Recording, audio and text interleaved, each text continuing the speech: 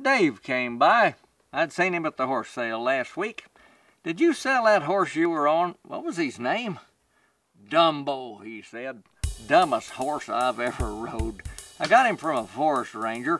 She gave him to me as a gift, but he is dumb. I mean, I'm riding two three-year-olds right now, and it took me less than 20 minutes to train them to open a gate.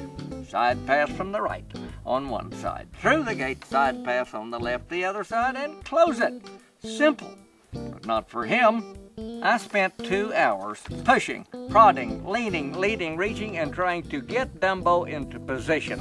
He reacted like him and the gatepost were opposing magnets.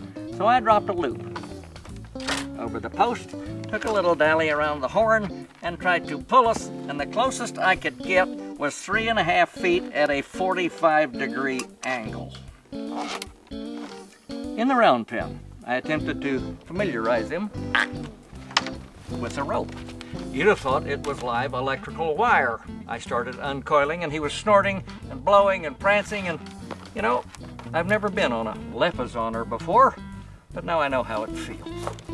I made a loop and accidentally hit him on the rump with the tip. In his exuberance to escape, he tripped over himself, fell against the rails, and dumped me out over the shoulder. I've still never roped an animal from his back. He reins better when I hold a fishing pole over his head and dangle an ear of corn.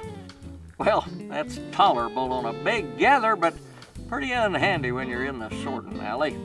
That and the fact that he's scared of cows.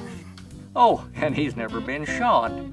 He'd hold for a minute for the trimming, but he couldn't abide the hammer. Well, I finally got the dumb burger shod in the horizontal position. Well, I asked Dave what he brought at the sale. Two hundred dollars, he said. Well, surely, I said, he must have had some good points. Yeah, said Dave. For one, he was easy to catch. But then you had to ask yourself, what's the point? This is Baxter Black. And this is not Dumbo, by the way, from out there.